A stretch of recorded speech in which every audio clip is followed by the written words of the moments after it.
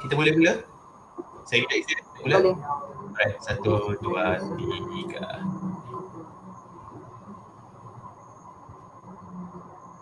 Okay. Bismillahirrahmanirrahim.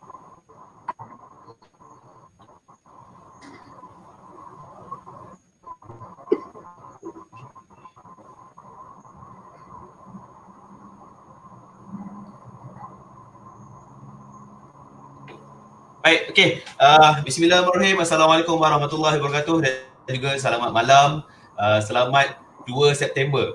Ha, selamat 2 September 2020 dan uh, anda sedang bersiaran langsung di KL Baca bersama-sama dengan saya Hafiz Latif ataupun Bampis dalam rancangan Bual Bicara Sembang Pis sebenar Kuala Lumpur Ibu Kota Buku Dunia 2020 dan uh, bersama-sama dengan saya pada malam ni Puan Ira Yusof kita akan membicarakan topik berkenaan dengan menyelami dunia ghostwriter Uh, jadi anda betul dah tempatnya. Uh, jangan risau. Inilah uh, lokasi uh, kita punya sembang-sembang sebentar lagi. Jadi uh, kita bersama-sama dengan Puan Ira Yusof. Cuma saya nak maklumkan kepada tuan-tuan dan puan mungkin yang baru kali pertama sampai ke ruangan uh, halaman Facebook KL Baca ini. Uh, Kuala Lumpur sekarang ini sedang dinobatkan uh, sebagai ibu kota buku dunia sehingga April 2021 dan uh, program Bual Bicara Sembang Peace ini dibawakan khas sebenarnya Kuala Lumpur ibu kota buku dunia dan mendapat sokongan penuh daripada uh, Secretariat Kuala Lumpur Ibu Kota Buku Dunia dan juga Persatuan Gerakan Penulis Malaysia ataupun MyMove dan sekali lagi saya uh, maklumkan uh, topik kita pada hari ini adalah uh, menyelami dunia ghostwriter dan bersama-sama dengan saya uh, apa kata kita sama-sama raikan uh, Puan Ira Yusof Assalamualaikum Puan Ira, apa khabar? Hai, Assalamualaikum warahmatullahi taala wabarakatuh Tuan Hafiz dan Puan Ira sihat eh? Boleh boleh dengar uh, dengan jelas suara yang saya uh, Selamat datang juga okay, kepada baik. Okey, uh, pertamanya saya nak minta maaf awal dulu kepada tuan-tuan. Betul. Uh, saya nak mohon maaf dulu awal-awal pada tuan-tuan dan puan uh, mungkin jika siaran langsung ini sekitar satu jam nanti kita akan bersiaran langsung ni uh, ada sedikit uh, dari segi mungkin agak sedikit lambat dari segi video audionya antara saya dan Puan Ira. Saya mohon maaf awal-awal uh, kerana uh, ialah mungkin capaian internet di kawasan kami juga agak sedikit berbeza. Jadi uh, apa pun yang penting adalah kandungan yang kita nak bawakan dalam Sembang Peace pada kali ini uh, dan saya berusaha hati sebab Puan Ira seorang ghostwriter sudi bersama-sama dengan kita untuk berkongsi pengalaman beliau dan uh, sebab itu juga saya mohon, mohon maaf sekali lagi ya kalau ada uh, terlambat dan sebagainya kita kita harap kita dapat teruskan sesi perkongsian ini. Baik okey, permulaan awal uh, kita nak bersembang dengan Puan Ira tentang dunia ghostwriter. Mungkin Puan Ira boleh kongsikan dahulu kot uh, sejarah awalnya macam mana boleh tiba-tiba Puan Ira uh, mener, apa menjerumuskan diri kan uh, terjun dalam kancah menjadi seorang ghostwriter mesti pada awal tu. Okey, baik. Silakan Puan Ira. Saya. Okey, terima kasih Tuan Hafiz. Okey, ialah kita tengah masalah teknikal sikit tapi kita teruskan insya-Allah mudah-mudahan apa yang bakal saya kongsikan ini uh, boleh memberi lebih kepada sesuatu, boleh memberi lebih daripada sesuatu kepada semua pendengar uh, dan penuntut di luar sana di KL Baca. Baiklah, uh, saya Puan Ira Yusof berasal daripada Pasir Mas Kelantan. Sebenarnya uh, tak lama dalam 22 tahun pengalaman saya dalam industri penerbitan sebagai wartawan, editor, pengarah penerbitan uh, dan juga uh, pengarah pemasaran. Okey, saya juga terlibat dalam industri dalam industri uh, apa corporate okey menguruskan uh, konten beberapa syarikat GLC itu antara sebahagian daripada pengalaman saya lah. Hmm. Okey, so bagaimana saya boleh terjun termasuk terjelus dalam industri ghostwriter ya? Okey, kisahnya lima tahun lalu uh, apabila uh, satu hari saya pulang ke rumah saya melihat anak saya, anak bongsu saya lelaki pada waktu itu kalau tak silap saya uh, sekolah rendah dalam darjah tiga ke darjah empat macam tu. Saya tengok uh, waktu tu saya ingat mungkin saya balik pukul tiga pagi sebab kerjaya saya ni tak tentu. Kadang-kadang saya travel ke sana sini kan? Okay, so bila saya balik saya masuk bilik anak saya kat bawah tu saya tengok dia tidur. Saya tengok muka dia dan saya kata eh dah besar dah anak saya. Saya tak sedar sebab keluar masuk keluar masuk tu kan so saya kata apa yang saya nak dalam hidup ini? Uh, saya nak gaji saja ke? Tetapi saya uh, hilang waktu dengan suami saya dengan anak-anak saya kan? So uh, jadi bahagia itu tidak tidak dapat saya capai sebenarnya pada firasat saya. Jadi saya kata apa yang saya perlu lakukan? Saya kena berhenti melakukan kerjaya yang saya lakukan sekarang. Jadi bagaimana? Di situlah saya mula dapat idea saya mula berfikir. Kenapa tidak uh, ilmu penulisan saya ini saya gunakan yang mana saya duduk di rumah tetapi saya masih juga mendapat income seperti saya makan gaji. Uh, so di situlah bermulanya saya menjadi ghostwriter. Mm-hmm.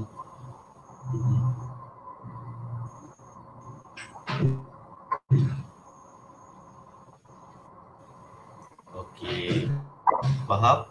Baik, uh, daripada apa yang saya sempat uh, kerjaya kan, faktor kerjaya ni uh, dalam dalam bidang ilmuwan dengan uh, keluarga dan sebagainya dan pada akhirnya uh, ini adalah ruang yang puan nampak yang boleh uh, digunakan sebagai sebagai ruang kerjaya supaya dapat meluangkan lebih waktu bersama dengan keluarga. Okey, itu sejarah awalnya Puan Ira menjadi seorang ghostwriter kan. Uh, dalam masa yang uh, tapi dalam masa yang sama saya sebenarnya kagum kan, bagaimana Puan Ira boleh melepaskan uh, kerjaya yang se- sebelum itu kan untuk uh, orang kata apa uh, bersama-sama dengan keluarga kan. Jadi itu adalah pengorbanan paling besar seorang ibu, seorang isteri lakukan untuk keluarganya sendiri lah kan. Dan itu adalah kegaguman paling utama yang saya boleh buat sementara waktu ini. Tapi mungkin saya akan kagum lagi dengan banyak lagi perkongsian-perkongsian Puan Ira selepas inilah. Okey, jadi uh, itu pengenalan awal lah sebab orang kata kalau tak kenal maka tak cinta. Jadi kita dah uh, mengenali sedikit Puan Ira kan. Uh, mungkin uh, di uh, di peringkat awal ni juga Puan Ira boleh berkongsi dengan uh, audience uh, yang sedang mendengarkan perkongsian kita tentang menyelami dunia ghostwriter ni. Sebenarnya apa apa sebenarnya yang boleh kita katakan sebagai seorang ghostwriter ni? Uh, apakah yang dimaksudkan sebagai ghostwriter? Uh, mungkin boleh kongsi sikit lah kan peranan yang dibuat oleh seorang ghostwriter ni Puan. Bidang-bidang tugas dia ya kan. Okey. Uh, ghostwriter ni sebenarnya uh, ada pelbagai terjemahan ni tapi saya tak kira lah apa terjemahan yang diguna pakai eh. so uh, ada yang macam uh, terjemahkan terus ghostwriter tu sebagai uh, penulis hantu ada. Okey ada yang menterjemahkan sebagai uh, penulis uh, khayalan Uh, penulis upahan penulis, kalau uh, de, kamus dewan ba eh kamus, oh, kalau DPP DPP, DPP uh, menterjemahkan sebagai penulis siluman kan tetapi macam saya, saya suka menterjemahkan uh, sebab uh, saya menerima tugas uh, sebagai penulis dan dibayar upah. Jadi saya suka menterjemahkan ghostwriter itu sebagai penulis upahan. Uh, maksudnya saya menerima upah dari segi uh, menerima upah dari penulisan. So uh, itu adalah terjemahan saya sebagai ghostwriter. Uh, malah ada yang kata, eh kenapa tak jadikan macam uh, apa angel writer sebab you buat sesuatu untuk orang lain tanpa orang kenal pun siapa diri you seolah macam tu kan tapi saya tak kisah uh, but pada saya ghostwriter adalah penulis yang menerima upah daripada hasil penulisan. Mm-hmm. Uh, faham faham. Jadi uh, saya saya agak bersetuju jugalah dengan dengan terjemahan Puan Ira sendiri kan kalau penulis upahan ataupun penulis siluman seperti yang dinyatakan oleh uh, Kamus Dewan uh, oleh Dewan Bahasa dan Pusaka itu saya lebih terima lagi lah. Tapi kalau penulis hantu tu saya saya sendiri rasa takut juga nak mengupah penulis hantu ni Puan Ira. saya rasa macam macam mana kalau nak buat cerita-cerita seram ke kan itu dah jadi kalau penulis hantu ni cerita-cerita seram insyaAllah lah kot. Baik, okey. Tapi uh, uh, tugas yang ya saya. Uh, Tuan Hafiz, uh, selalu apabila saya kata saya ghostwriter, uh, pertanyaan yang datang kepada saya adalah Puan tulis buku cerita hantu ke? Ah, okay. Kena pula uh, dia berkenalan dengan saya pada malam Jumaat. Ah, Okey, saya tak tulis buku cerita buku cerita hantu tetapi saya pernah menerima upah menulis satu buku kisah tentang dunia misteri. Uh, tentang dunia sihir, maksud saya, dunia dunia sihir. Ah tu pernah. Okey, tapi saya tak tulis buku cerita hantu. Ah. Uh, itu saya kata tadi takut nanti ada orang ingat puan tulis cerita hantu kan. Uh, cerita-cerita seram apa tu yang tadi ghostwriter tu. Baik okey. Tapi mungkin pun boleh kongsikan dengan kita jugalah bidang tugas yang umum dulu sebelum kita pergi lebih dalam tentang uh, apa yang ghostwriter ni lakukan. Tapi mungkin yang secara umumnya yang orang nampak apa bidang tugas yang umum yang ada sebagai seorang ghostwriter ni?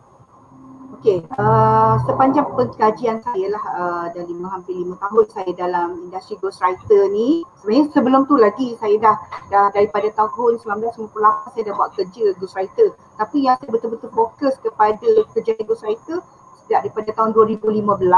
Jadi uh, daripada tahun ke tahun tu saya menemui pelbagai pelbagai bidang kerja sehingga yang terkini saya dapat 35 bidang tugas yang boleh dilakukan oleh seorang ghostwriter. Wow.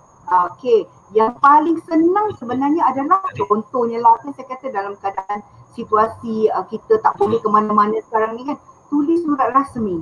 Bantu orang tulis surat rasmi, tulis ah. surat tidak rasmi, type minit mesyuarat untuk sesuatu kelab ke apa ke.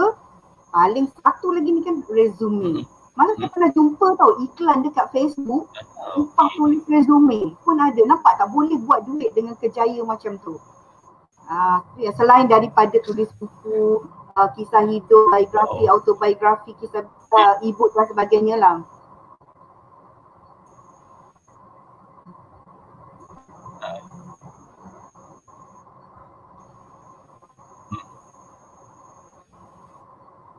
Mm-hmm.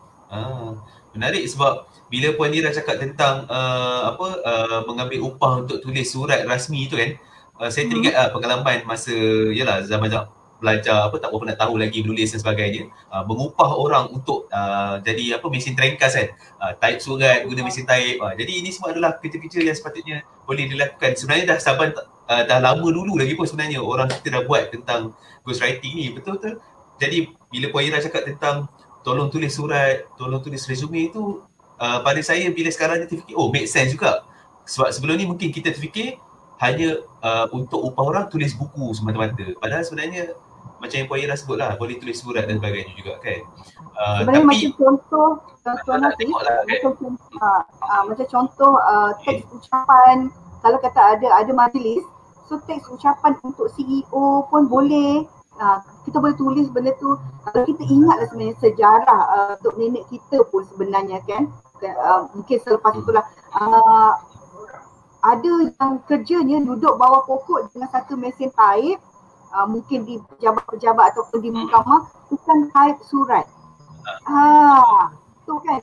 Ah saya rasa ada pun di kalangan uh, kalangan rakan kita yang ayah mereka pun berkejaya begitu yang saya dapat tahu kan Ha, so itu pun kerja ego fighter dah, dah lama dah bermula industri ni kan.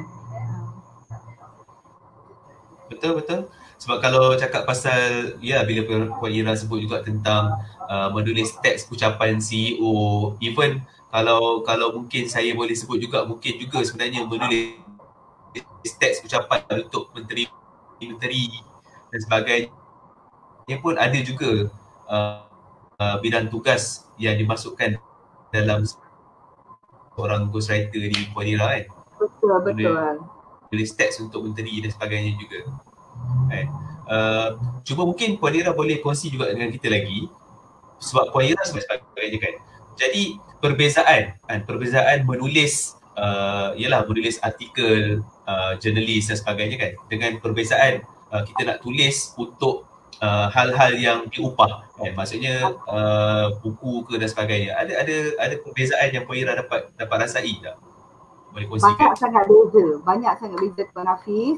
Okey uh, apa yang paling ketara adalah apabila yeah. uh, kita menulis uh, sebagai wartawan kita melaporkan Ha, kita melaporkan kejadian tersebut. Lepas tu editor kita akan semak apa semua. Kadang-kadang dia melihat kepada rumah penerbitan tu ada perkara yang dia boleh publish ada perkara yang tidak boleh publish kan? Tetapi apabila kita menjadi ghostwriter kita uh, menulis untuk uh, orang yang mengupah kita. Uh, jadi di sini uh, tak kisahlah tuan-tuan dan puan pakar dalam bidang apa sekalipun tuan-tuan dan puan kena ikut. Walaupun kita katalah contoh uh, Mr. A Mr. A ni pendidikan dia cuma kita kata sampai tingkatan tiga je kita, kita katalah kan. Tetapi mampu untuk mengupah kita menulis. Jadi kita tetap kena mengikut pemikiran beliau, menulis mengikut gaya beliau. Cuma kita advise menjadi hmm. penulisan tu lebih baik supaya nampak uh, apa beliau uh, value beliau lebih tinggi di mata pembaca. Uh, tapi kita tak boleh nak letak penulisan tu dalam level uh, orang doktor akademik ke tak boleh. Sebab uh, bila orang baca orang akan rasa bukan beliau yang menulis. Cabaran yang sebenarnya dihadapi oleh seorang ghostwriter adalah menjadi pelanggan. Uh, ada pelanggan kita yang kita contohlah kita kata uh, contoh saya seorang yang uh, contoh saya seorang yang mungkin sedikit uh, melembut sikit lah so saya tak saya berusaha untuk menulis kepada seorang pelanggan yang jenis kasar bahasa yang uh, apa orang kata bahasa-bahasa hmm. yang yang kata tu. Jadi kalau saya nak tulis untuk beliau saya kena tulis macam tu. Saya kena belajar untuk menulis macam tu. Sama juga uh, kita pernah ada hmm. ada satu tugas hmm. yang mana saya termasuk saya buat. Okey uh, pendengar saya tu seorang yang uh, lembut uh, sopan santun apa semua kan? Uh, tetapi apabila penulisan tu uh, ada macam emosi ada kemarahan ada dendam jadi itu bukan menunjukkan uh, beliau Ah, ada bukan menunjukkan beliau. Jadi kalau orang baca eh uh, awak you bukan macam ni. Kenapa dalam buku ni macam ni kan? Ah, so so pada sebenarnya adalah menjadi pelanggan, nak ikut apa yang pelanggan nak. Kalau kita rasa eh apa ni, apa ni hmm. kan? Kita semua boleh advise pelanggan. Kita hmm. beritahu puan, okey, saya cadangkan puan buat macam kenapa? Uh, kita ni semua. Mm-hmm. and then kalau dia okey okey tapi kalau dia tak okey you cuma ada dua pilihan. Sama ada you teruskan menulis ataupun kalau you rasa you tak nak then you mm-hmm. minta diri. Saya biasa macam tu. Kalau ada perkara yang saya rasa uh, pendapat tak ber, berbeza pendapat kan? So terutama macam setengah isu yang saya rasa macam uh, saya rasa benda tu akan akan menjatuhkan reputasi beliau. Okey tetapi dia tak terima contohnya. Dia nak juga So biasa saya akan tarik diri. Uh, lebih awal saya tarik diri sebab satu waktu apabila orang tahu bahawa saya menulis untuk beliau, dia macam ni lah. Uh, kalau buku itu meletup, buku itu mendapat pujian, nama penulis itu akan naik. Tapi kalau ada masalah tidak mustahil, nama ghostwriter juga akan terseret. Jadi sebagai ghostwriter kita tetap perlu menjaga benda tu. Kita bagi yang terbaik pada pelanggan. Betul? Betul? Uh, Puan Ira, Puan Ira macam dapat dapat tangkap je soalan saya seterusnya sebab uh, saya uh, terfikir juga kan contoh macam kalau katalah klien uh, klien kita ni adalah seorang lelaki dah misalnya tapi uh, macam Puan Ira uh, seorang wanita. Jadi nak nak memasukkan suara seorang lelaki ataupun nak memasukkan uh, macam mana saya, saya nak kata macam Puan Ira sebut tadi lah kalau seorang perempuan yang melembut mungkin karakter ah ya betul menjiwa, menjiwai karakter pelanggan itu ah lepas tu lagi macam mana nak nak menyesuaikan suara pelanggan tersebut juga sebab kalau contohlah pelanggan ni jenis yang uh, apa uh, uh, tegas misalnya kan macam mana nak menjadi seorang yang tegas uh, jadi itu mungkin mungkin Puan Ira boleh kongsi sikit lah kot. Mungkin ada trik yang Puan Ira boleh kongsi dengan kita kan. Macam mana nak menjiwai karakter tu. Okay.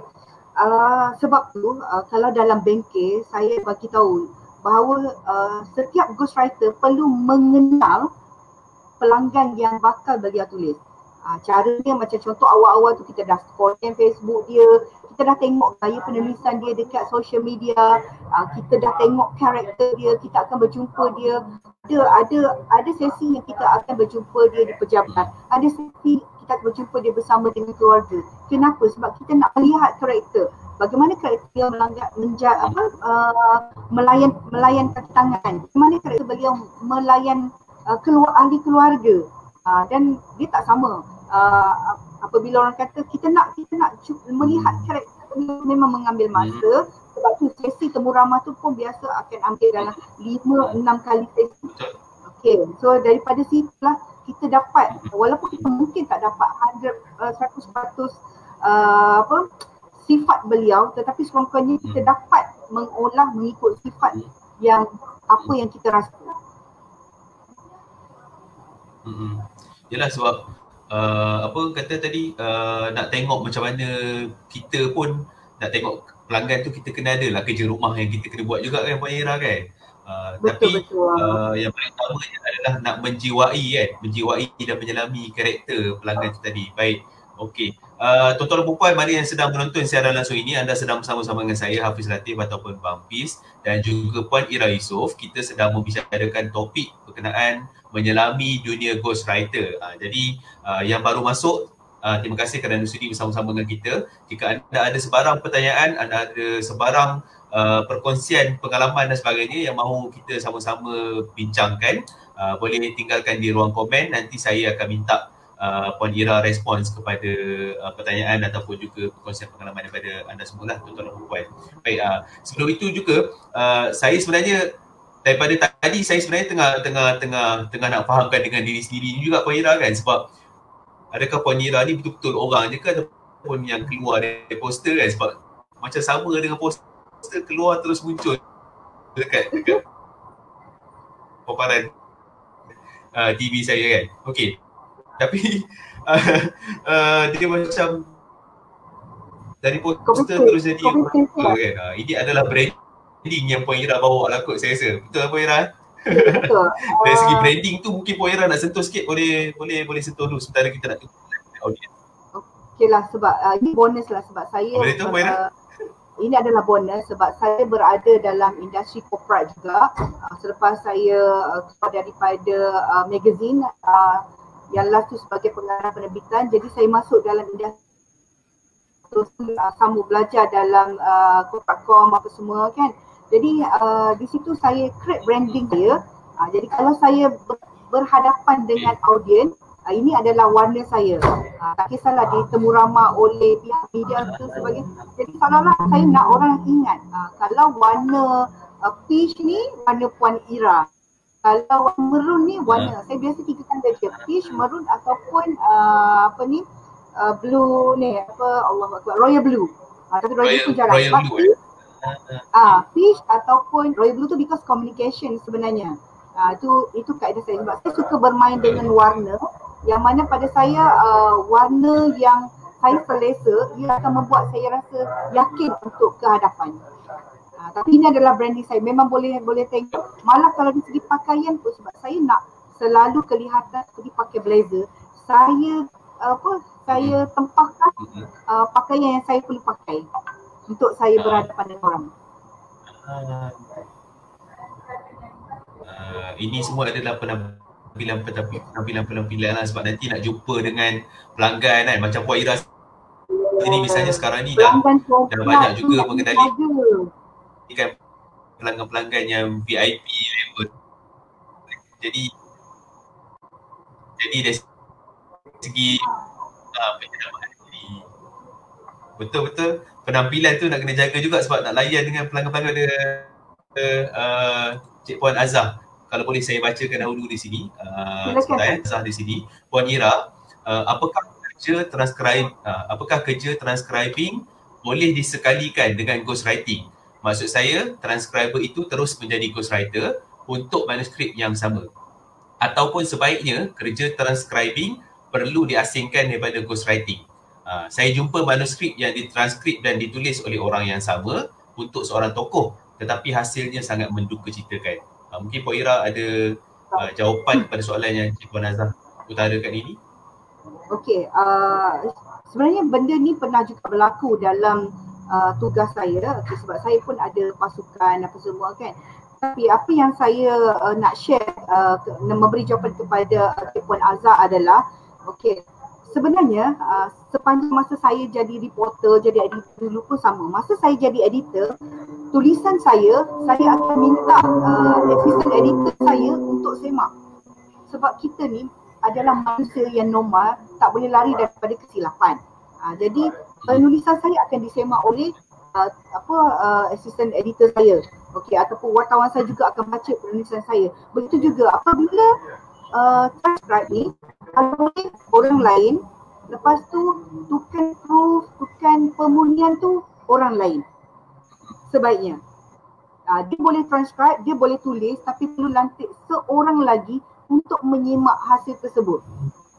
Biasa saya kalau kalau macam ni uh, seorang ni uh, transcribe dan dia mungkin boleh menulis terus okey ataupun uh, menulis orang lain kalau kata bajet tu besar transcribe orang lain tulis orang lain growth dan pemurnian tu orang lain. Kalau ada bajet besar. Tapi kalau bajet tu uh, gitu-gitu je jadi transcribe dan writing tu boleh orang yang sama tetapi kena wajib orang lain untuk pemurnian dan uh, editing. Uh, itu memang saya tegaskan lah. Sebab memang boleh nampak boleh boleh terjadi kesilapan macam tu. Uh, sebab kita semua tak sempurna. Betul betul. Dan uh, untuk menyambung soalan daripada Cik Puan Azhar tadi juga Puan Ira, uh, itu okay. pentingnya sebenarnya yang saya uh, sembang dengan Puan Ira sebelum ni berkenaan dengan support group tadi kan. Maksudnya uh, pasukan itu sendiri dia tak boleh adakah mungkin ghostwriter ni maksudnya kalau katalah untuk mengendalikan satu projek, satu pelanggan ini tak boleh hanya seorang diri. Maksudnya perlu ada pasukan supaya uh, macam tadi Puan Ira cakap lah transcriber orang lain, penulisnya orang lain uh, tapi uh, macam mana nak mengurus? Uh, macam mana nak mengurus pasukan ni tadi Puan mungkin Puan ada pengalaman sikit lah boleh kongsi dengan kita semua mengurus pasukan ghostwriting ni. Okey baik. Macam saya uh, saya ada satu pasukan yang uh, saya sayang sangat okey. Nama pasukan ini Ghostwriter National. Okey Ghostwriter National ni adalah uh, peserta-peserta ataupun alumni daripada uh, bengkel-bengkel yang saya ataupun uh, saya dan Tuan Zamri anjurkan uh, bengkel ghostwriter lah ya so mereka ni uh, dijemput tapi kita tak ada paksaan dijemput secara percuma untuk join dalam Ghostwriter National okey uh, apa yang berlaku dalam Ghostwriter National adalah Uh, setiap ahli pasukan akan saling menyokong antara satu sama lain. Kalau ada dap- kita nak kita nak masing-masing berkongsi. Kalau siapa dapat okay. job dia tak mampu right. nak lakukan, dia boleh share dalam group, boleh bagi pada orang lain. Ataupun kalau dia tak mampu nak lakukan seorang, berkongsi dengan rakan-rakan yang lain, dengan yang lain. Manakala saya sendiri pula, apabila saya dapat satu tugas, saya akan saya tak mampu dah nak lakukan seorang diri sebab saya pun ada bisnes lain dan sebagainya. Jadi saya akan berkongsi dalam pasukan di Ghostwriter National orang jadi tukang tulis, okay. Uh, seorang tukang transcribe, seorang tukang tulis, seorang tukang edit dan pemurnian. So saya memang tak akan, kalau orang ni tulis, akan dapat tugas pemurnian. Orang lain tetap akan murnikan walaupun dia orang editor. Walaupun dia seorang editor tapi dia nak juga tulis buku tu. So saya bagi job tu untuk dia tulis. Pemurnian tu saya akan bagi kepada editor lain pula. Supaya kita boleh mengurangkan kesilapan dalam penulisan tu. Ah. So itu itu uh, alhamdulillah lah. apa dia? Apa dia tuan? Tak boleh lah seorang seorang nak sapu semua kerja eh. okay, bercerita tentang bercerita tentang seorang buat kerja, saya dah lalui pengalaman ni. Masa tahun 2015, saya kan seorang diri masa tu. Okey, masa tu saya bermula orang tanya mana pejabat Puan Ira di beradu. Betul, maksudnya saya saya wujudkan satu ruang kerja di bilik tidur saya. Tapi kalau okay. pelanggan nak jumpa saya, tak adalah nak jumpa kat kamar beradu tu kan. So saya akan jumpa dekat uh, Starbucks, uh, saya dekat Meru Kelang, hmm. saya akan jumpa dekat Starbucks di Alam. So itulah tempat meeting saya dengan pelanggan lah. Ataupun saya pergi ke pejabat pelanggan. Jadi masa tu saya menguruskan projek uh, copywriting. Daripada lima syarikat sehinggalah yang terakhir lima belas hmm. syarikat saya buat seorang diri. Masa tu. Wah memang. Tapi apa yang berlaku adalah saya pelat. Oh, Dua bulan saya tak boleh bekerja. Saya boleh tengok cahaya, okay. uh, migraine yang teruk apa semua. Di situ lah akhirnya mengisahkan saya bahawa saya tak boleh tamak. Saya kena berkongsi. Uh, dan kebetulan masa tu saya uh, dibuka peluang oleh Tuan Zamri. Uh, puan pun kena kongsilah uh, kepakaran puan dalam bidang ghostwriting apa semua. Uh, tapi tahun 2017 lah hmm. baru terbuka uh, hati saya untuk berkongsi tentang bagaimana menjadi ghostwriter tapi semuanya adalah cerita tentang pengalaman saya. Saya orang ada pengalaman berbeza, ghostwriter lain pun ada pengalaman berbeza tapi apa yang saya kongsi, apa yang saya dah lalui, apa yang saya dah tempuh, apa yang saya dah masuk lubang keluar, bangkit balik daripada lubang semua tu, so itu semua saya rangkumkan dan saya kongsikan kepada peserta-peserta yang datang ke saya. Baik, baik. Okey Puan, saya ada satu lagi soalan daripada Puan Nofaiza Omar. Uh, sebelum saya kembali kepada soalan-soalan awal yang saya dah sediakan juga. Tapi kita raikan dahulu rakan-rakan kita yang sedang bersama-sama dengan kita pada malam ni Puan. Uh, daripada Puan Nofaiza Omar, saya ada kemahiran menulis surat dan juga bilik mesyuarat. Bagaimana saya nak cari pelanggan yang perlukan perkhidmatan begini? Uh, terima kasih Puan Ira dan Hafiz. Okey, uh, Tuan Hafiz, saya suka sangat dengan soalan ini sebab satu soalan ni uh, apa tugas tugas menulis surat rasmi dan minit mesyuarat ni adalah tugas yang senang sebenarnya sebab semua orang pernah melalui uh, kalau pernah bekerja lah kalau pernah bekerja Mungkin pun ada boleh kongsi pengalaman uh, macam mana nak cari kalau, dari pelanggan okay. untuk tulis surat uh, dan juga minit mesyuarat. Pernah, yang pernah bekerja dia pernah melalui uh, zaman tulis surat jadi orang kata kerja-kerja pengeranian. Okey mesti akan melalui uh, zaman tersebut. Ataupun masa kita sekolah dulu masa SPM kan ada subjek uh, tulis surat rasmi kan.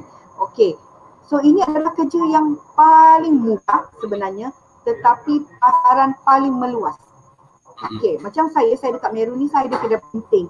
Mungkin uh, tuan-tuan dan perempuan pendengar kadang boleh dengar ada mesin. Sebab saya di kedai projek saya ni sedang buat puasi sampai pukul 10 malam. Okey kalau tu pukul 10 malam kan. Okey. Uh, mereka datang ke kedai saya nak minta tolong tulis surat rasmi. Contohnya uh, contoh surat nak hantar pada majikan nak minta uh, apa cuti uh, disebabkan uh, masalah keluarga ataupun nak tulis surat nak minta bantuan tulis surat uh, nak buat program. Hmm kadang-kadang benda tu kita nampak kecil hmm. tapi ada setengah orang tak tahu macam mana nak membentuk ayat-ayat tersebut ataupun yang paling saya suka adalah mereka ni hmm. tak ada masa mereka tak ada masa uh, ada setengah orang ni dia dah masuk melalui frasa pencen masa kerja dulu semua kerani dia yang buat kerja jadi bila dia pencen dia dah tak ada kerani ha, kita lah saya lah jadi kerani dia okay. jadi kita kawal lah uh, servis tulis surat rasmi. Kat mana kita nak dapat pelanggan? Ya Allah. Cik Mafi, sekarang ni senang sangat nak dapat pelanggan. Sebab tu tadi awal saya ada cakap, yang hmm. saya pernah jumpa iklan di Facebook, dia buat iklan simple saja. Siapa nak upah tulis resume? Uh, satu muka surat macam ni, macam ni. Sebenarnya kat kedai saya pun sama. Orang datang uh, nak buat resume. Okey, satu muka surat yang simple je. Letak gambar dia, uh, taruh nama ni ni ni, Okey, RM10. Okey, hmm. uh, nak dua muka surat, nak design lebih sikit, uh, naiklah harga lebih sikit. Uh, yang kalau ada kepakaran buat design tu, uh, bolehlah uh, apa, charge lebih sikit. Contohnya macam tu.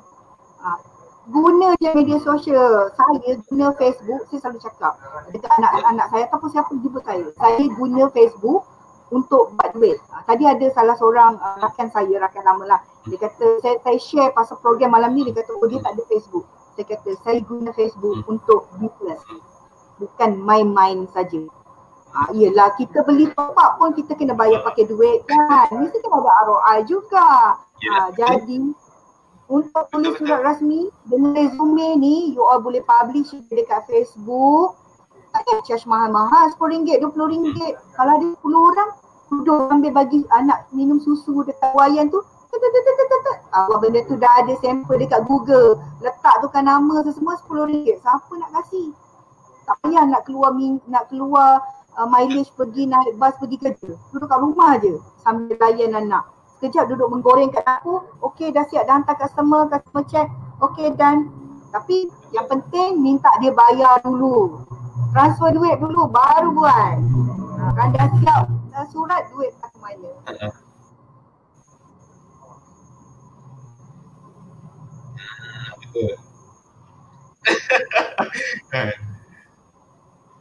Uh, kena kena masuk duit dulu puan eh. kalau tak nanti betul sebab kalau kami sendiri pun ada deposit dahulu untuk kita mulakan gerak kerja dia jugalah oh. betul uh, terima kasih puan untuk kongsian tersebut tadi uh, nampaknya uh, apa kita punya perbincangan ni semakin semakin semakin hangat uh, dibicarakan wah gitu kan.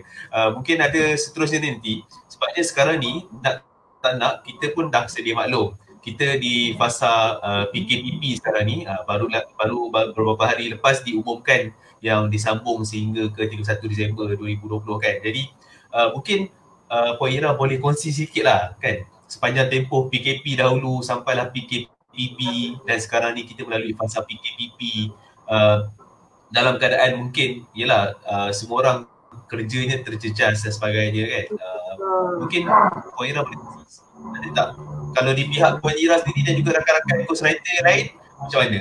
Ramai tak orang yang masih lagi menggunakan hikmat uh, apa uh, ghostwriting atau macam mana Puan? Okay, uh, Alhamdulillah mungkin saya boleh cerita sikit pasal uh, relevannya industri ghostwriter ni kan tak perlu risau pasal persaingan ke apa semua. Memang ada semua orang mengatakan bahawa uh, industri buku slow, orang dah kurang beli buku dan sebagainya kan. Tetapi sebenarnya uh, pelanggan yang datang kepada saya, mereka buat buku bukan target untuk jual. Mereka buat buku sebagai satu untuk untuk legacy, untuk anak dan cucu mereka apabila mereka meninggal. Jadi mereka tetap mencari ghostwriter untuk merakamkan kisah hidup mereka agar anak cucu dapat baca. Okey, jadi sepanjang PKP usahawan ni kan uh, waktu biasa dia agak sibuk PKP dia orang tak ada kerja duduk kat rumah nak pergi office pun tak boleh jadi mereka mencari ghostwriter ghostwriter untuk membantu menterjemahkan cerita mereka kepada buku. Uh, dan malah juga uh, sepanjang PKP itu juga selain daripada menulis uh, saya juga terlibat dengan program-program visual uh, mengajar dan juga uh, apa uh, memberi perkongsian kepada uh, apa rakan-rakan yang memerlukan tentang dunia ghostwriter. Sehinggalah terwujudnya bengkel visual ghostwriter yang pertama. Semua kerana PKP. Uh, ramainya orang nak belajar jadi ghostwriter, ramainya orang nak tulis buku. Ada tu dia datang dia belajar jadi ghostwriter sebab dia nak dia nak oh, dia nak buka ghostwriter tapi sebelum dia nak buka ghostwriter dia nak dia nak tahu terma-terma seorang ghostwriter supaya bila dia jumpa ghostwriter ghostwriter tu tak boleh tipu dia. Dia cakap macam tu. Pun ada. Ah kan? Hmm. ah, so itu semua dilakukan dia, dia, dia sebab dia nak jadi ghostwriter uh, dia dia masuk dia masuk bengkel dia bukan jadi ghostwriter. Tapi dia nak ghostwriter. Ah, supaya dia boleh belajar ghostwriter. Ada Ha, ada, tak apa. Saya tetap uh, meraihkan siapa saja. Tetapi saya paling, uh, tapi ni ada juga cakap kat saya lah. Bila saya kata saya suka wanita-wanita eksekutif, ibu-ibu yang join bengkel saya. Jadi adalah yang suara-suara, habis kami lelaki tak boleh ke join kan? Boleh saja. Tapi maksudnya saya nak uh, apa yang telah berlaku pada saya dulu, seorang wanita yang berkerjaya, yang travel sendiri mungkin sebab tu. Dulu cita-cita nak jadi pramugari tak lepas kan? Sebab pendek kan? Ha, jadi uh, so jadi kerja saya travel sana sini sebab tugas sebagai reporter head of corporate so uh, jika ada peluang saya nak bersama keluarga. Begitu juga apabila ada wanita-wanita ibu suri rumah uh, tangga sendiri pun ataupun eksekutif ibu mana yang sanggup tinggalkan anak kepada orang lain. Nah, jadi apa yang saya kongsikan adalah kerjaya ghostwriter. Uh, sebenarnya banyak lagi kerjaya di luar sana. Cuma saya ni menjadikan minat uh, kesukaan saya dalam bidang penulisan ini membuahkan hasil. Macam saya kata bila uh, main Facebook mesti ada ROI dia. Uh, apa saja kita buat kena ada ROI. Kan hari ni. Uh, kan takkanlah keluar je duit kan semua kan. Ni bukan ada idea juga. Uh, jadi uh, jadikanlah penulisan ini uh, sebagai satu cara hmm. untuk dapat waktu bersama keluarga. Uh, dalam temu ramah dengan utusan Malaysia baru-baru ini pun uh, dua minggu lepas saya ditemu ramah oleh utusan Malaysia. Sama juga soalan daripada wartawan bila saat uh, yang Puan Ira suka dalam hidup ini saya kata sekarang. Maksudnya dalam hmm. dalam waktu kerjaya lah saat uh, berada di atas uh, sebagai editor ke pengarah penerbitan itu. Saya kata saya suka sekarang. Saat sekarang. Saat saya tidak ada apa-apa pangkat kosong, zero. Saya adalah seorang ibu di rumah, seorang pengurus rumah tangga, seorang penulis. Saya menggunakan kepakaran saya, menggunakan minat saya tapi saya mampu menjana pendapatan untuk saya gunakan membahagiakan keluarga saya. Yang penting saya dapat masak untuk suami saya dan kami dapat makan bersama. Apa saya perlu terkejar-kejar nak balik, tunggu hari minggu nak makan dengan suami. So ini adalah waktu yang paling indah. Sehingga saya harap waktu ini akan kekal dalam hidup saya sehingga saya berakhirnya nafas insya-Allah. Dan yang kedua, guru saya pernah arwah guru saya pernah berpesan tulislah sesuatu sebelum mati untuk diwarisi. Tulislah sesuatu yang bermanfaat, mudah-mudahan mampu menerangi kita di alam kubur. Jadi, saya mahu tolong orang lain yang mungkin tidak ada kepakaran menulis, yang mungkin tidak ada masa menulis untuk saya tulis, saya guna kepakaran saya selagi mana buku tersebut dibaca dan diwarisi. Mudah-mudahan dia juga boleh membantu saya untuk mengumpul saham akhirat. Itu antara sebab kenapa saya memilih kejaya sebagai ghostwriter. Rasa rasa macam dengar suara dalam iklan apa kan? dia punya dia punya intonasi dia, dia punya intonasi dia macam dengar suara dalam iklan TV pula kan? ataupun iklan radio. ada ada bakat lepas ni bukan setakat uh, oh, ghostwriter ya. je ni boleh jadi boleh jadi voice over voice over untuk iklan. InsyaAllah minggu depan, minggu depan saya akan mula bersiaran di radio online Bapakku FM. Boleh cari Bapakku FM untuk segmen oh, pengetahuan. Okay, okay. InsyaAllah. Ah, wow, menarik, menarik, menarik. Ya tuan. Oh, macam tu. Baik, uh, Puan, Puan Dira, boleh kita kongsikan lagi sikit lagi dalam masa waktu yang ada sekitar lebih kurang 15 minit ni kan. Uh, sebab uh, antara soalan yang saya selalu berlegar dalam fikiran saya lah tentang seorang penulis yang uh, bukunya ataupun namanya uh, ada buku yang diterbitkan. Maksudnya kalau contoh saya Hafiz Latif bila saya di uh, di cover sampul kulit buku kan. Tapi kalau ghostwriter ni uh, namanya disembunyikan. namanya disembunyikan. Uh, mungkin puan puan Ira boleh uh, kongsi dengan kita uh, perasaan kan dah menulis buku untuk orang lain nama disembunyikan apa apa sebenarnya yang yang yang puan Ira boleh kongsikan dengan kita maksudnya perasaan nama disembunyikan sebab Okey. Uh, saya kembali kepada apa yang saya kongsikan sebentar tadi. Uh, memang orang bertanya pada saya, you tak nak tulis ke buku ada nama sendiri? Nak tulis. Tapi asyik pending, pending, pending je kan. Uh, malu dah nak buat Tuan Zamri kan. Asyik tak siap, tak siap, tak siap aja malah. Sehingga saya buat satu gerakan. Gerakan dengan geng-geng dalam Ghost National ni tulis uh, apa siap tul, uh, tul, uh, Allah Akbar. Kempen satu kali tu, satu hari tulis satu buku, tulis. Okay, sekarang right. dah uh, apa hari yang ke-60 dah tau. Okay, contohnya sebab nak siapkan buku eh. Okay.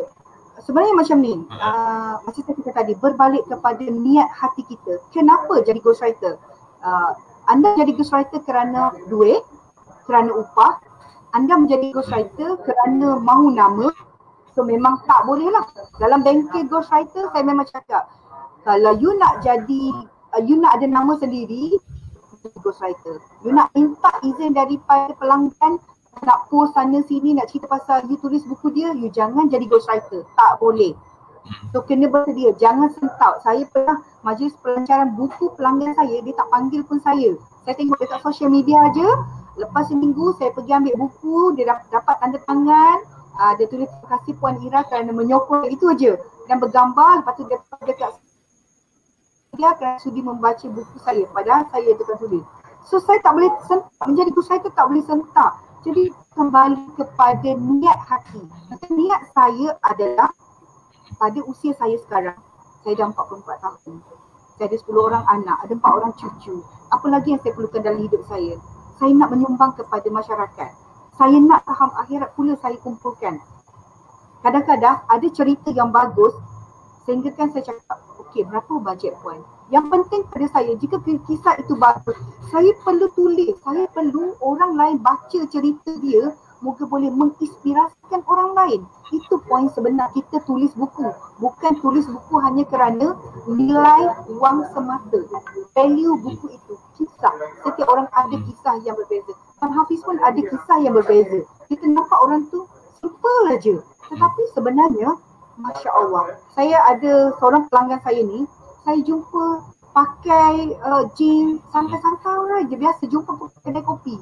Tapi apabila saya susur jalur kisah yang bakal saya tulis, sebenarnya setiap bulan beliau menyumbang lebih 60 ribu sebulan kepada anak-anak yatim, rumah kebajikan dan masjid. setiap bulan 60 ribu. Kita tengok orang tu biasa saja.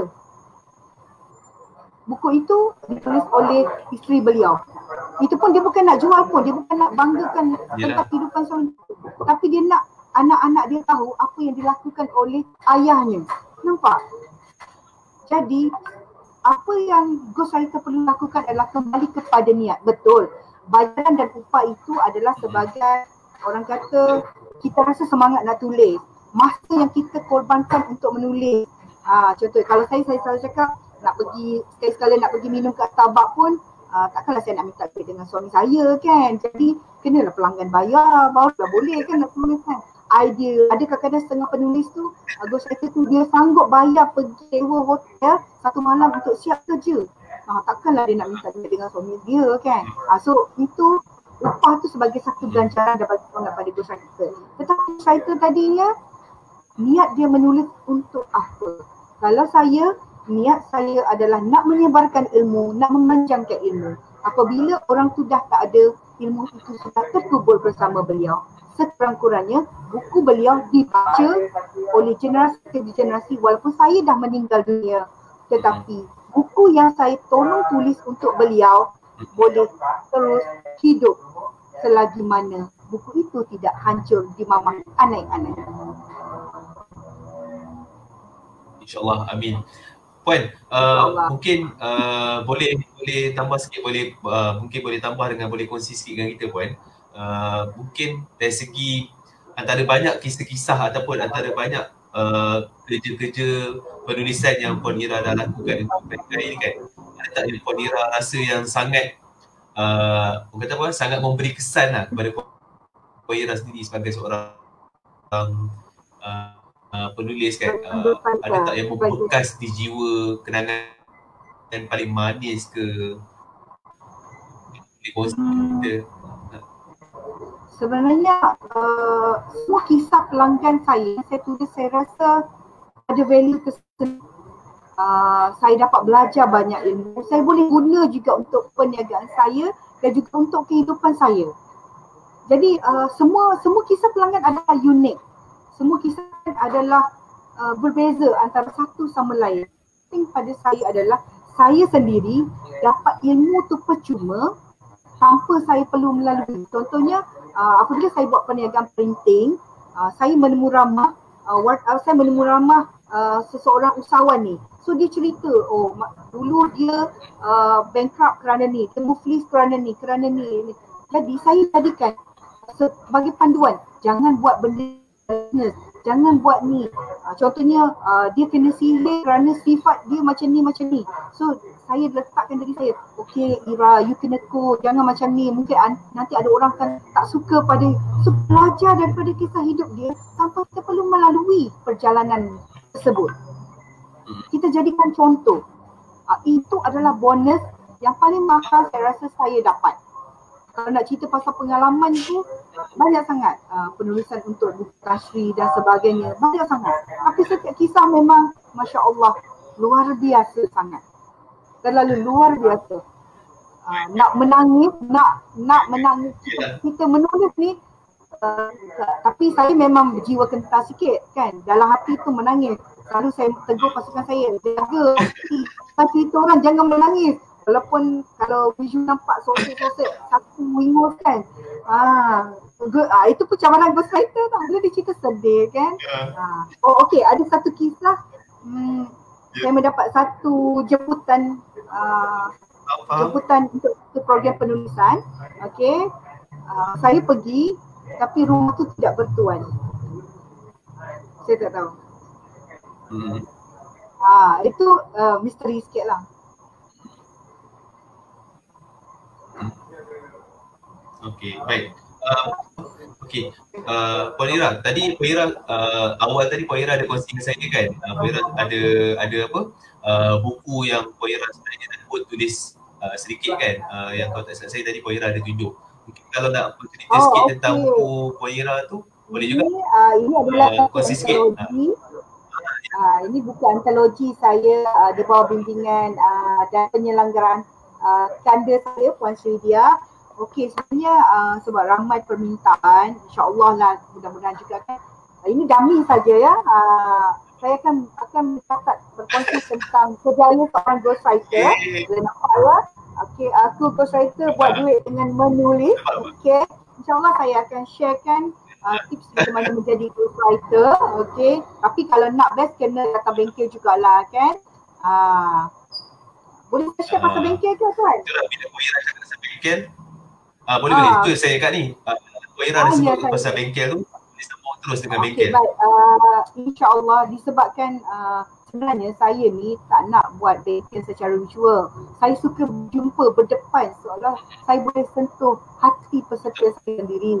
Tetapi disebabkan PKP, so, kita pun kena ikut uh, norma baru punya gaya kan. So akhirnya uh, saya pun yeah buat satu bengkel uh, visual ghostwriter baru-baru ini Okay, alhamdulillah feedback pun amat uh, mem, me, apa memberangsangkan. Jadi uh, ada yang mula-mula PM saya sebab uh, visual saya pecahkan kepada dua sesi pertama dan sesi kedua. Semua peserta kena melalui dua dua sesi. Jadi lepas yang pertama ni dah mula PM. Uh, saya kata tunggu bengkel seterusnya Uh, so insya Allah atas permintaan ramai saya akan hmm. anjurkan satu pada 2 Oktober ini. Okay, 2 hmm. Oktober bulan depan. Uh, bengkel visual mungkin boleh follow ada link daripada tim saya dekat dekat message ataupun boleh tengok di page aku Ghostwriter. Okay, uh, bengkel visual Ghostwriter bersama okay. Puan Ira Yusof. Ada dua sesi pada pertama, sesi pertama 2 Oktober dan sesi kedua pada 9 Oktober uh, bonus dia uh, tuan-tuan dan perempuan akan dibawa masuk ke dalam grup Ghostwriter National yang mana akan bersama dengan saya dalam grup insyaAllah sehingga saya habis nafas. Saya akan terus memberi panduan dan uh, apa khidmat nasihat tanpa bayaran selepas itu. Uh, biasa pasukan saya ni uh, tuan, selep- mereka datang ke program, mereka uh, belum dapat projek lagi. Uh, lepas tu, katakan lepas beberapa bulan, ada ada yang selepas tu uh, bulan baru dapat projek dan mereka akan datang jumpa saya. Uh, yang tu dah, tak perlu dah nak bayar ke apa ke khidmat nasihat seterusnya. So mereka adalah tim dalam Good Writer National. Itu bonus lah kan. Hmm. Uh, betul. Puan Puan Ira ada ada ni eh uh, mungkin saudara Amir Hamzah eh ada ada komen ah, kat sini. Uh, Okey, saya saya kongsikan dengan audiens eh supaya Hai. mungkin semua boleh nak. Dia ada Actually sebenarnya ni adalah anak saya yang nombor, nombor ada letakkan link WhatsApp. Anak saya nombor tujuh. Untuk mungkin penyertaan. Puan Ira penyertaan. Bengkel virtual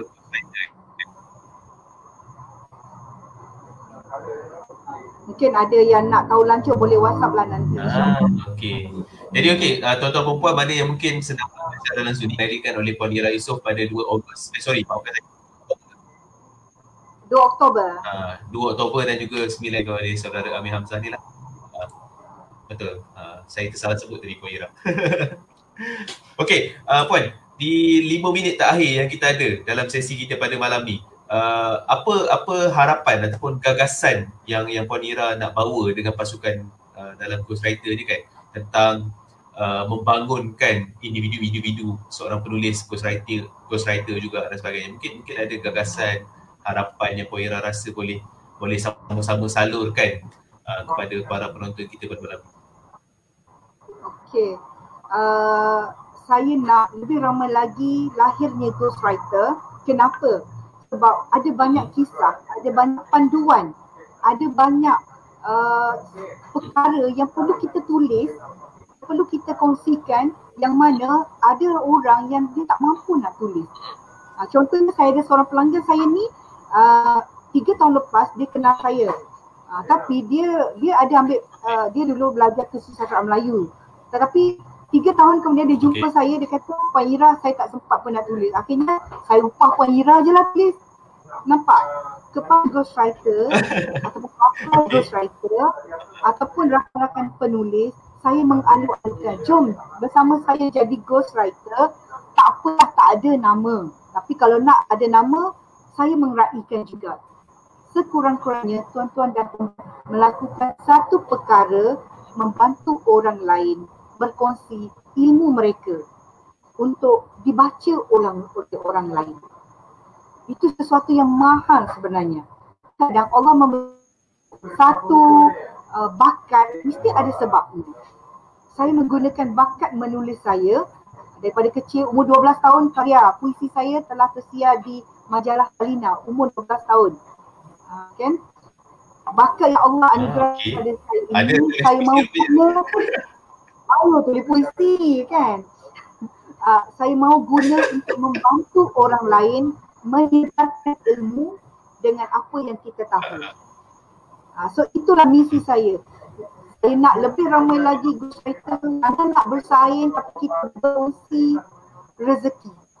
Uh, satu job tu kita kongsi. So uh, tiga, biasa tiga orang lah. Seorang penulis, seorang apa uh, editor dan pemunian, seorang mungkin transcribe ke, uh, biasa tiga orang ataupun dua orang. Dua orang cukup lah untuk satu job tu dah boleh boleh hasilkan sebuah buku untuk tolong orang lain. Uh, kita tak perlu nak berebut. Kek itu apabila dikongsi bersama, kita dapat makan lebih banyak kek yang lain dengan berbeza. Tapi kalau kita makan ada 10 biji kek, kita makan separuh pun kita dah tak habis. Tapi kalau kita kongsi kek ada 10 biji kek rasa berbeza, kita akan dapat rasa 10-10 kek itu bersama-sama sebab kita kongsi ramai-ramai setiap kek. Itulah misi saya. Menulis bukan kerana nama. Menulis untuk menyambung legasi.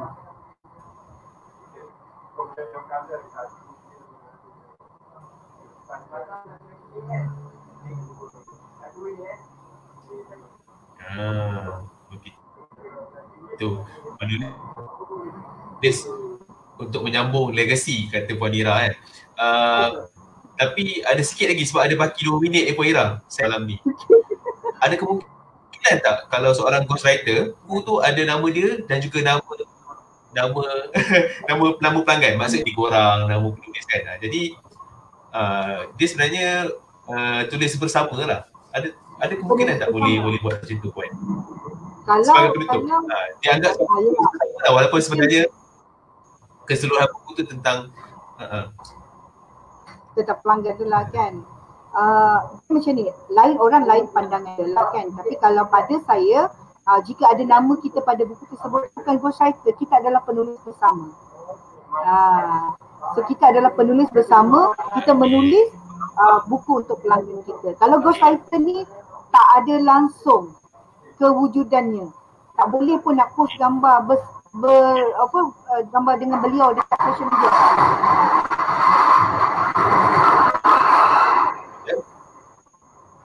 Baik, okey. Maknanya maknanya kita faham konsepnya tadi berawal juga perbincangan ini dan uh, uh, saya saya lihat juga dari segi soalan pun buat masa ni uh, respons kepada audiens pun uh, soalan dia tak ada.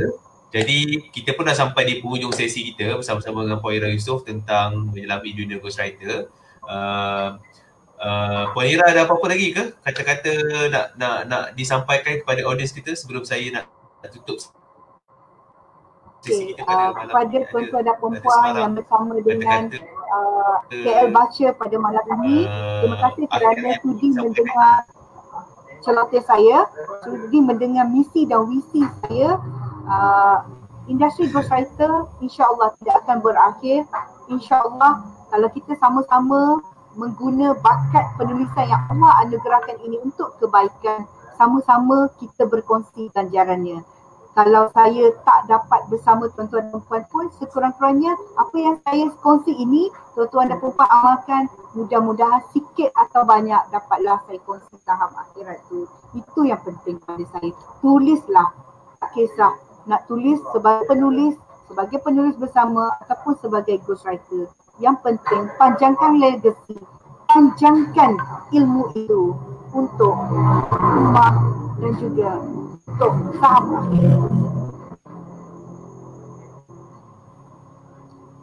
Baik, okey. Uh, dengan itu kita nak ucapkan terima kasih sekali lagi pada Puan Ira Yusof kerana sudi bersama-sama dengan kita pada malam ini untuk membicarakan topik berkenaan uh, menyelami dunia ghostwriter sempena Kuala Lumpur Ibu Kota Buku Dunia. Dan uh, saya nak ucapkan terima kasih banyak juga kepada anda semua tuan-tuan dan puan yang mana sedang uh, sudi bersama-sama kita sepanjang satu jam sesi ini. Uh, semoga setiap perkongsian ini dapat memberi manfaat kepada kita semua. Semoga lebih ramai ghostwriter yang bakal lahir dan muncul uh, dalam arena perempuan negara insyaAllah. Dan uh, semoga Puan Ira dan juga pasukan terus maju jaya dalam kerja-kerja uh, meneruskan legasi penulisan uh, pelanggan dan juga uh, apa pelanggan-pelanggan mereka. Uh, jadi kita jumpa lagi di Semapis episod seterusnya yang akan datang. Assalamualaikum warahmatullahi wabarakatuh dan juga selamat malam. Bye-bye. Waalaikumsalam. Selamat malam. Selamat menulis semua.